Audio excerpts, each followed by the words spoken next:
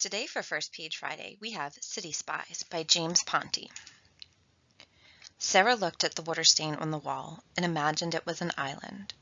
She wasn't sure if that was because it actually looked like one or just because she so desperately wished she were in some tropical paradise far from Brooklyn in this tiny room on the eighth floor of Kings County Family Court.